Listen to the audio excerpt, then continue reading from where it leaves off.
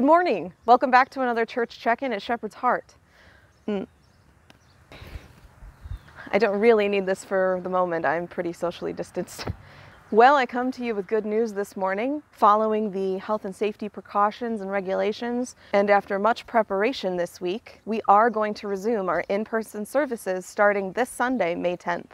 Now, it is with understanding that they do recommend that people 65 plus stay home for the time being.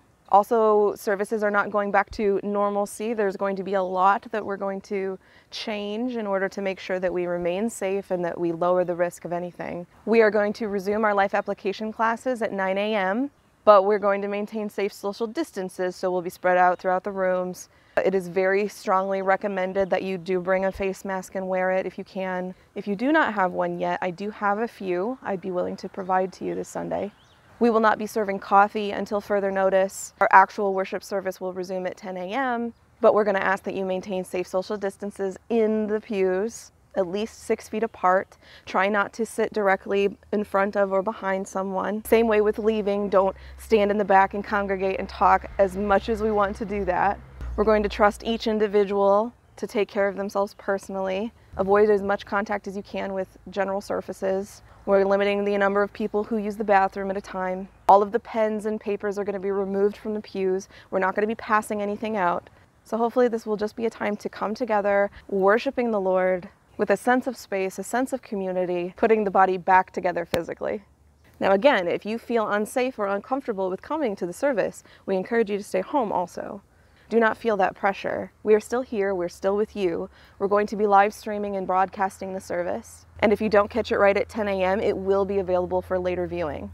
We're going to keep up with these church videos. So the check-in, the midweek, the Friday devotional, they're all here to still keep you spiritually fed and connected. And again, if you guys need prayer, feel free to send that to the church. We want to pray with you. We want to be there for you as much as we can. There's a team of volunteers here today working to clean up the sanctuary. We had some sawdust fall down when the roof was being worked on. So we're very grateful for those volunteers.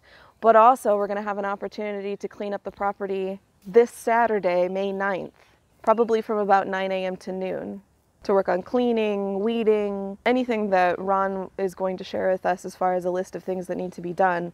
Again, maintaining our distance and safety practices when we're together, but still acting in good stewardship of what we have here and what we are blessed with.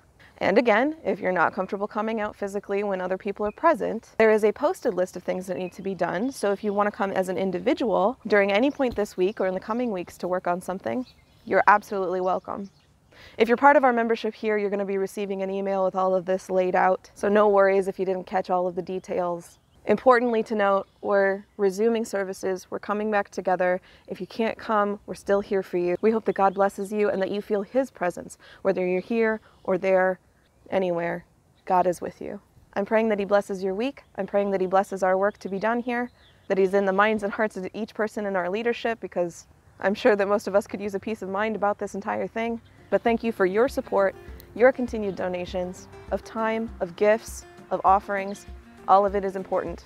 So thank you for being here for us. Take care of yourselves out there and stay safe.